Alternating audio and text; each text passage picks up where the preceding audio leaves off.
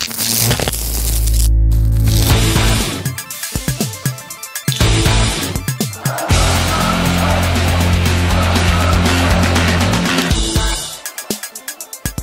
Resolution is always a compromise we have got used to.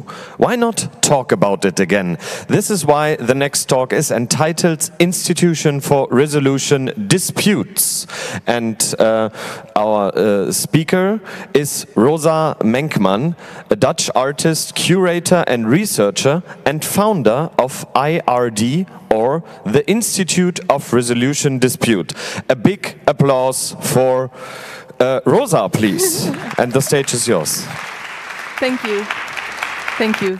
Um, thank you for being here on this like very late part of the whole conference. And I've, I mean, when I was checking in, everybody seemed so tired. It was really funny to experience this like latency in everybody. So uh, I'm Rosa Menkman. I'm from the Netherlands. Uh, everybody speaks German to me here. It's really funny because my name sounds German, but uh, actually, when you say something in German, I will speak back in English. But please speak to me when you want to. Um, in 2015, I'm gonna talk from 2015 onwards. Uh, I was invited to be a research fellow in a big institute in the Netherlands to do uh, research on resolutions. And this was a huge honor for me. And I dropped everything in London, where I used to live at the time, and uh, went and moved back to Amsterdam, which actually was not my favorite city in the world at all.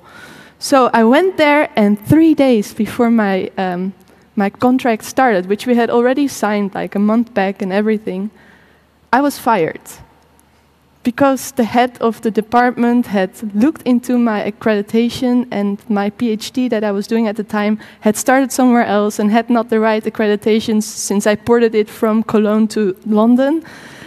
And so I would have to revisit the whole institutional network and get my stuff right in time to start. Now, that was not possible. And so I was, how do you say that properly for a live stream? I was like, drop the kitty dead. Um, so I got really, how you say, like sad in Amsterdam, alone, without a cause, and kind of angry with institutions. And this is when, at a certain time, I got out of my um, darkness and went to the Californian desert to live alone in the middle of nowhere. And this talk will be about two works that I made, or two institutions, um, two exhibitions. One is the institutions institutes, like a double uh, or a plural, uh, for resolution disputes. And then the second one, which is kind of a more in-depth research, is behind white shadows. And I made these, and the research kind of started in um, the desert, where I was looking from my house into this little village. You have to imagine the desert, there's not a lot, but straight from my patio, I could see this. This is from Google Street View, so you can't really see it very well, but this is Little Baghdad. And Little Baghdad is a military place where people bomb the hell out of at night. So you wake up, you hear and feel all this infrasound, then you know the military is having some fun or something like that. Not from, yeah. So um, I was inspired by uh, a research that was done in the zone by Trevor Paglen. Trevor Paglen, you all should know, is a hacker and uh, artist and uh, yeah, political artist and technologist. And he made a work called Symbology. That's a research on all the military patches in the USA. He went to Area 51, drove around it, and in, interviewed people to see what all those patches meant. And he found out there is a secret language in these patches.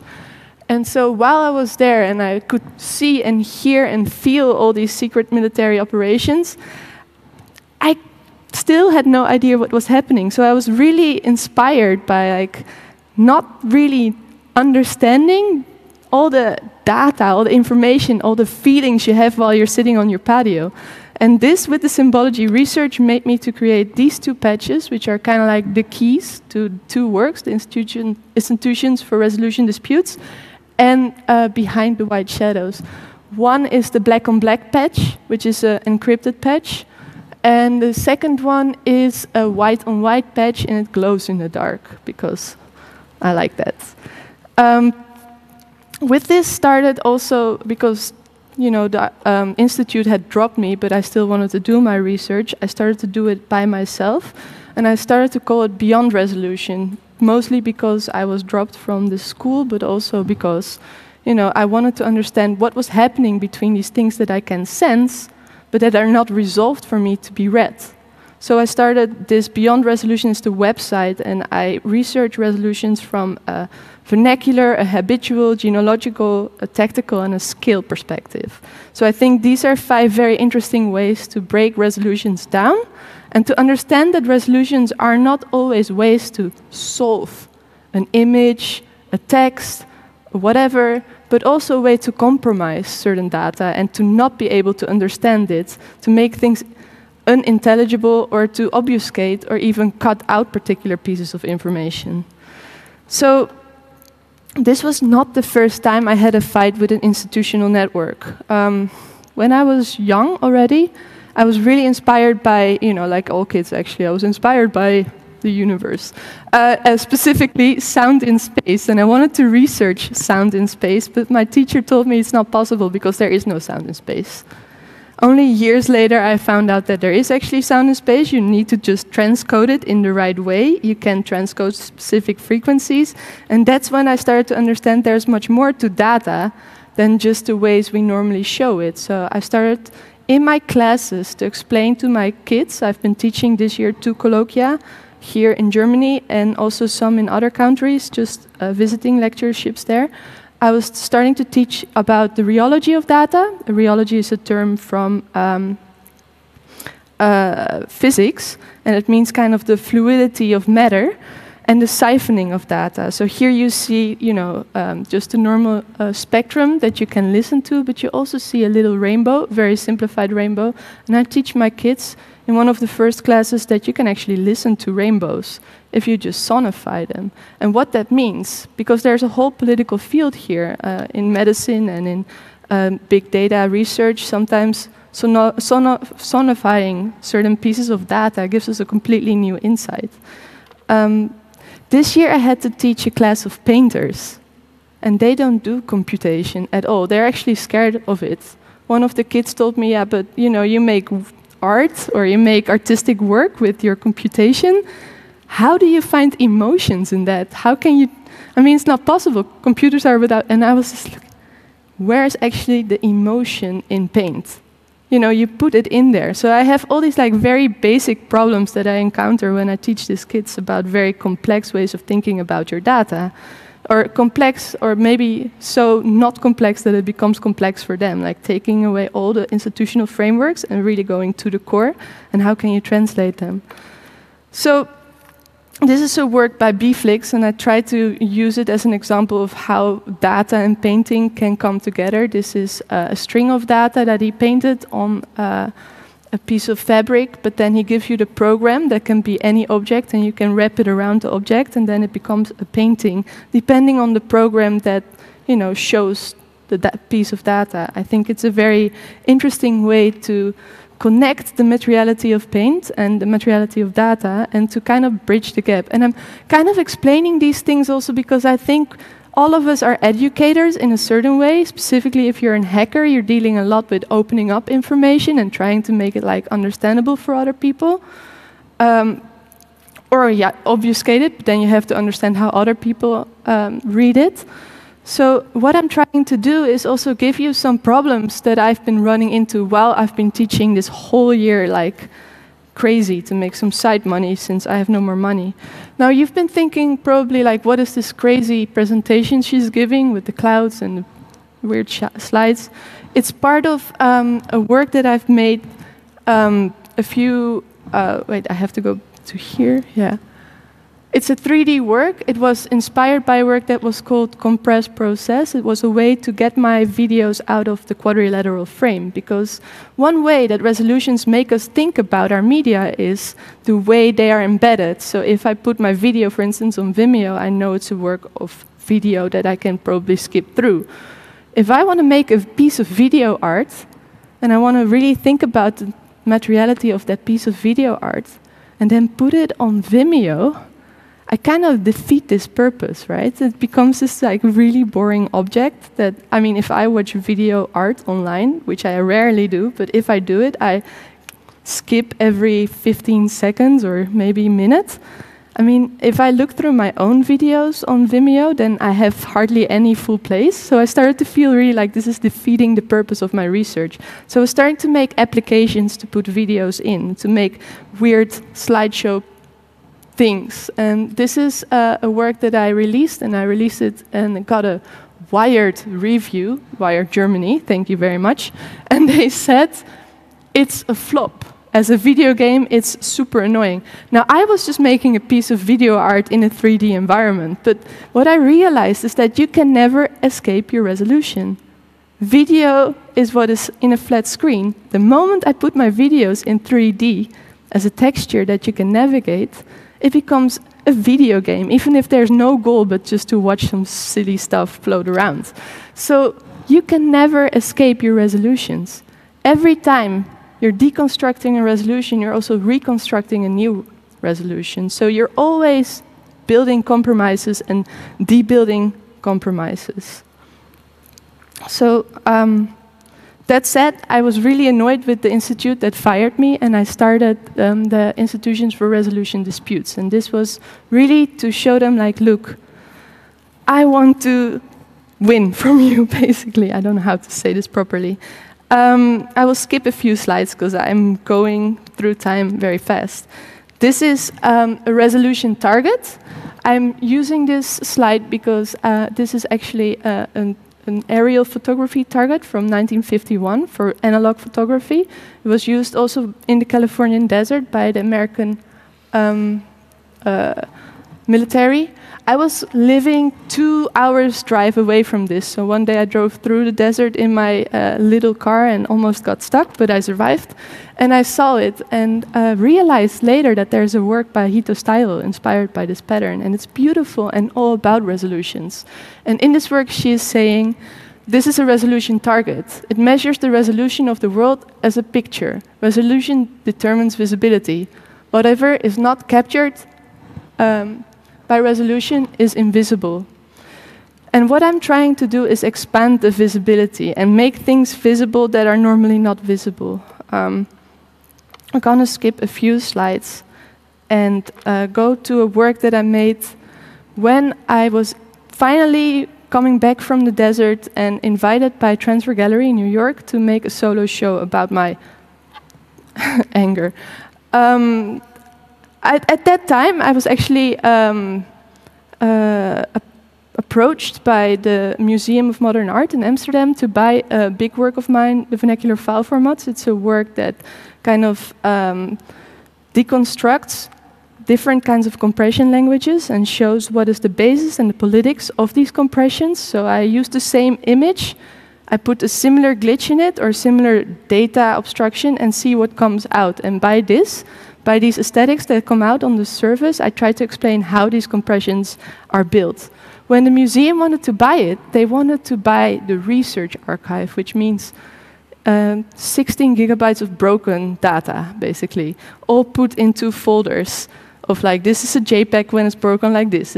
So what do you do when you um, sell 16 gigabytes of broken data and how do you show it? I started to research what else was happening in this um, work, I'm going to boot up a new presentation because uh, unfortunately, poof, yeah, I started to realize that my work actually has lived beyond this particular research. Um, this is also my face, but I started to see it in many places. I started to see it on teacups, I started to see it on sweaters, a lot of uh, glitch iPhone and um, Android apps use it as their icon, I started to see that people used my face and clicked on it and then they were making a glitch.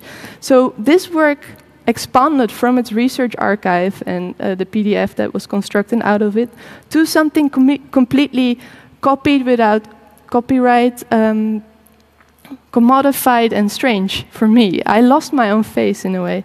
And then I started to realize that this is not, I'm not the only one that has lost their face. So um, I did uh, a little bit of research and found, for instance, this work by James Bridle, who's been doing research on the render ghosts. If you're walking through London and you see all these billboards of new architectural constructions being built, then you always have these render ghosts put inside of them. And um, he made a whole archive of trying to understand who these people are. This is his uh, render research uh, blog, uh, in which he has a whole archive of different kinds of people. And when he finally researched where these people came from, he came to an um, kind of a company that sells render bots or render images uh, that were based in um, New Mexico. And so he went to New Mexico to see if he could find these people and to ask, did anybody ask you if they could use your face? But he found nobody that looked like these people, of course. Of course, because, you know. Um, finally, he found somebody in a bar that told them, like, look, if you really look close to these people, they really don't look like people in New Mexico. These are fancy people, and most of them are maybe Asian, but definitely not very much looking like the people that walk the streets of New Mexico. And finally, he never got the answer, but he did realize that these people were probably never asked to be used. So, this is one example of the line in which I've seen this kind of co-optation of or objectification of humans. Um, this is a research by uh, Constant. He presented it in the 30 second uh, C3. Uh, it's called um, Jennifer in Paradise. It's part of um, a possibility of an army talk. If you ever want to look it back, it's a beautiful talk. Here, Constant found the photo of Jennifer. Jennifer was the soon to be wife of John Knoll, the programmer of Photoshop. And John tried to test his Photoshop software on an image, and that image was the image of his not so very properly dressed girlfriend, Jennifer, at the time. And um, one of the lines that I think are most striking of this work is when he says, Did you ever ask permission to Jennifer? Do you realize that you're uh, objectifying your own soon to be wife? Um, it's an open letter to Jennifer, but um, there's some remarks in another article on, uh, in which he says these things. Um, so I realized I'm in this tradition, but worse even,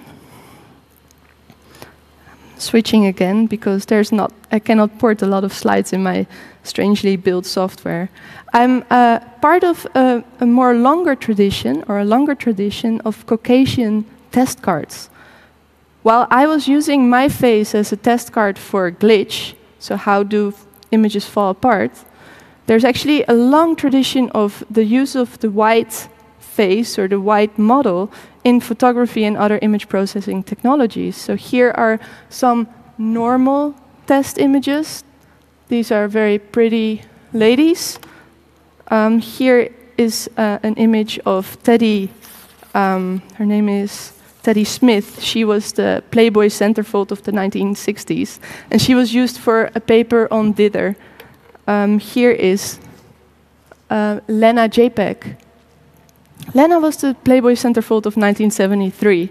And um, when in 1972, uh, and when in 1973, Nasir Ahmed, um, a researcher originally from Bangalore, tried to write about a new compression standard using DCT, discrete cosine transform, which became later the basis of JPEG.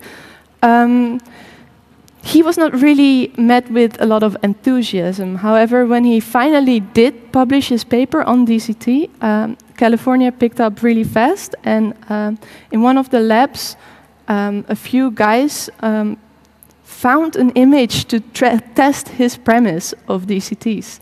And this was Lena. And Lena was the basis of the compressions that we still use most often in our. And if you walk through, for instance, the kebab or whatever, and you see these big photos of kebabs on on the front of the. If, for instance, if you go to Sonale, you'll see a kebab printed out really big, and you see these like kind of blocky kebab parts. That is a block that has been tested on Lena, but only tested on Lena. So the people uh, in this particular research place, they were using an image of the 1972 centerfold, scanned it in with their own Muirhead scanner. They had um, a self-built circuit bent uh, scanner with three channels, a red, green, and blue. But one of the channels or one of the uh, the, the scanning uh, mechanisms was a little bit slower, so they lost one line. She got a little bit thinner even in the photo, so she looked a little bit better. Um, and they used only this photo. It's 512 by 512 pixels. So, from a media archaeological perspective, this is a very strange object. But also, if you think about politics, they use just this image as a one size fits all.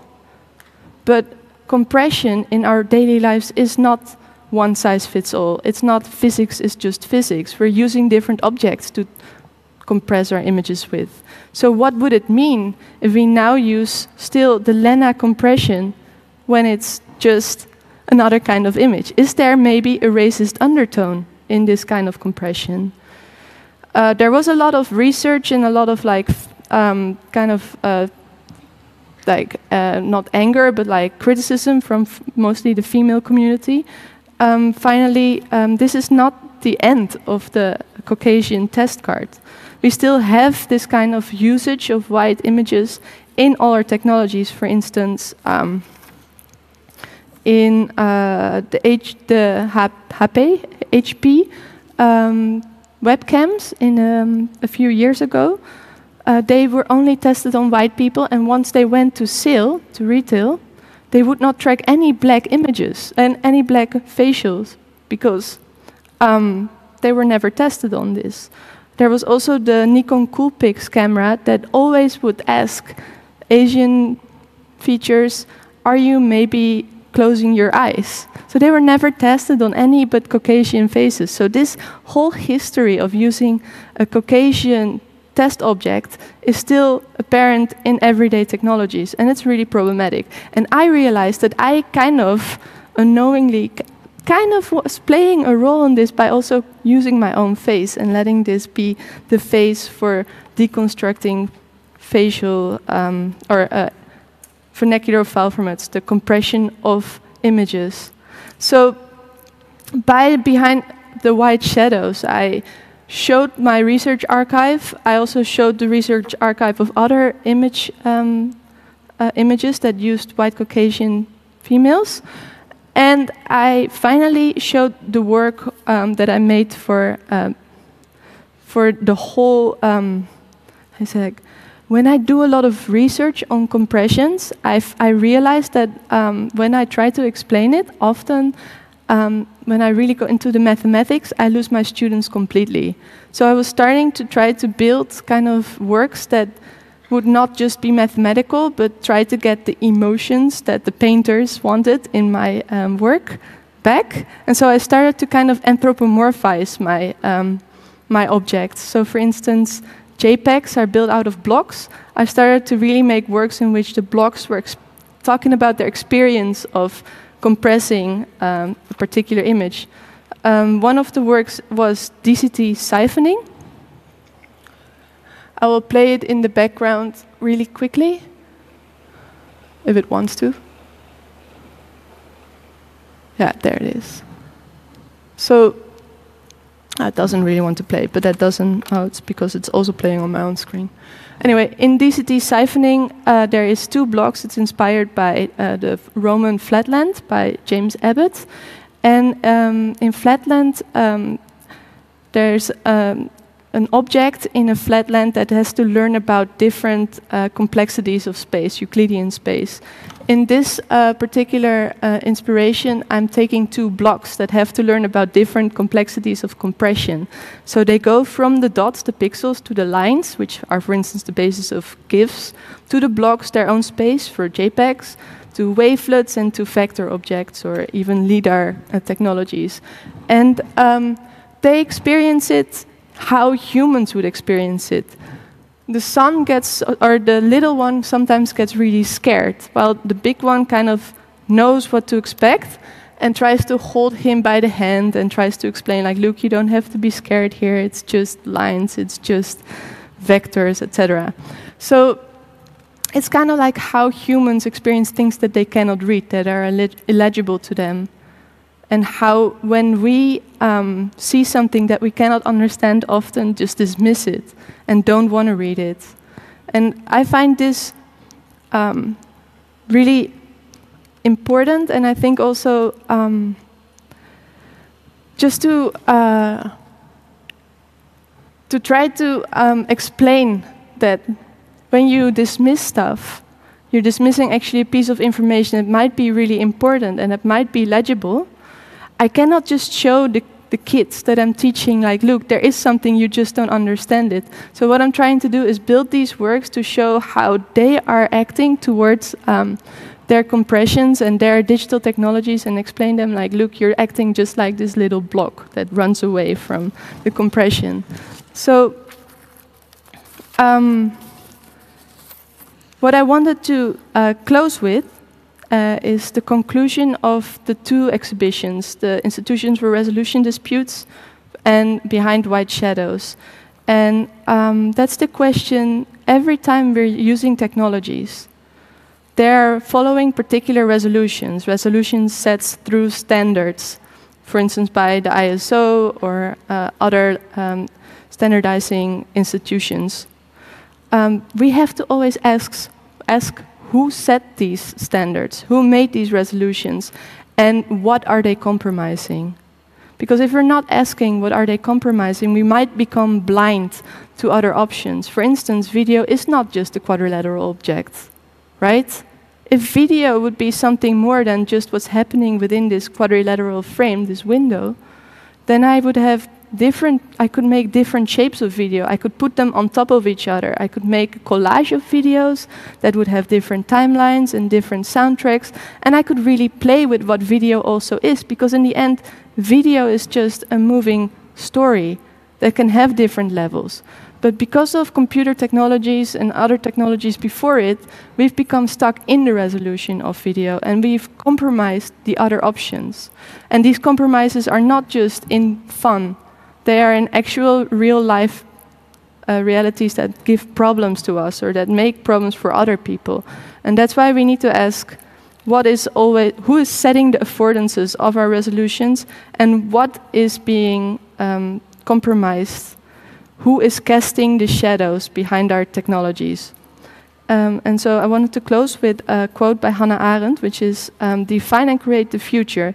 Do not be defined just by your past. And I think we should also use our technologies these ways.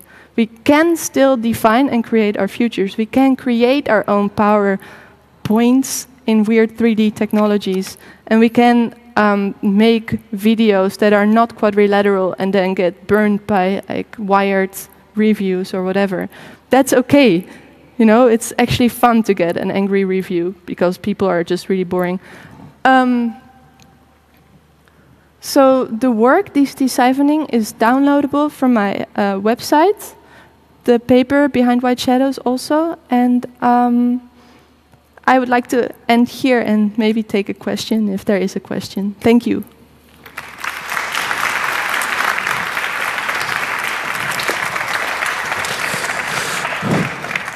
We have about two minutes for questions. Uh, there are four microphones, two on this side, two on this side. Um, and uh, yeah, microphone two, please. Ask a question.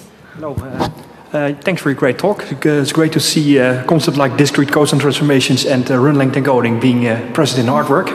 Um, also, I found out many years ago that in the JPEG standard, there's an optional way of compressing JPEGs. Uh, instead of Huffman encoding, you can use arithmetic coding, and it's never enabled by any browser. So those JPEGs are never used, but they should be much smaller and uh, use more uh, less bandwidth.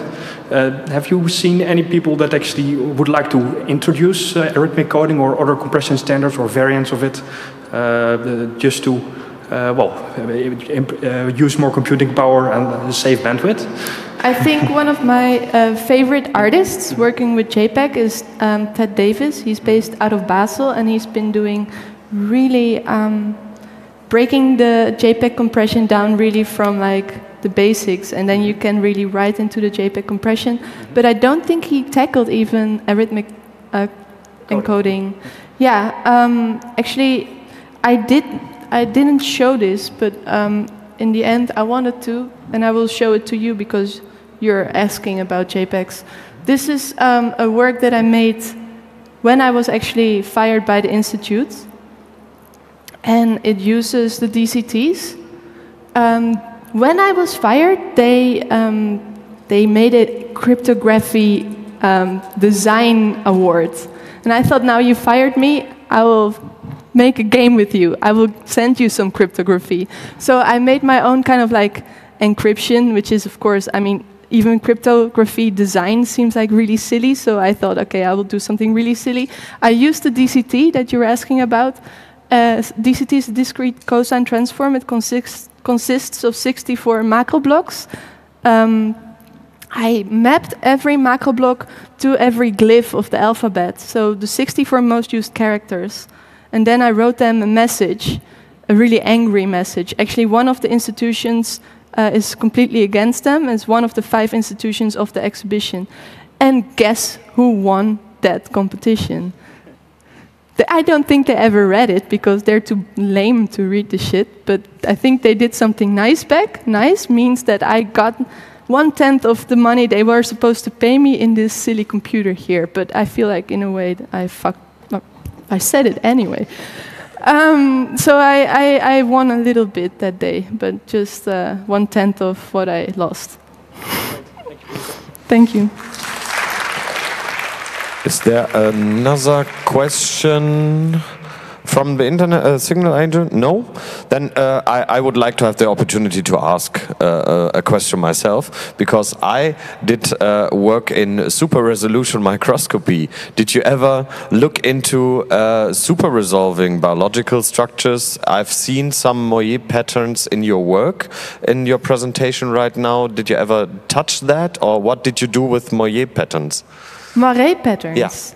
Ah, yeah. Okay. So for me, um, I was talking a little bit about an ecology of compression complexities. So really going from the line to the dots to the lines to the blocks to the wavelets to the you know like very complex.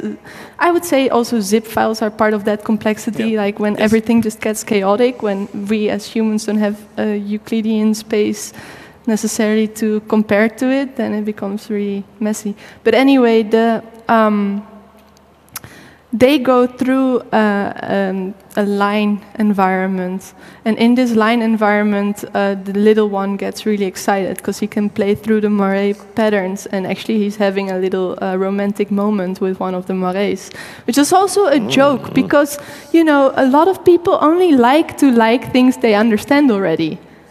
They I mean, the exercise is always in understanding something that is more complex. But that's what most people are scared of. So it's easy to fall in love with a line if you're a block. It's hard to fall in love with a wavelet, right? So, I mean, but anyway, uh, that's not really your question. You're asking about um, moiré in biology, and I've never worked with moiré in biology. Was that a an yeah, answer? Yeah, yeah, thanks. okay, uh, uh, any question left? I think we are out of time. Yes, a big hand, a round of applause for our speaker, Rosa Menkman.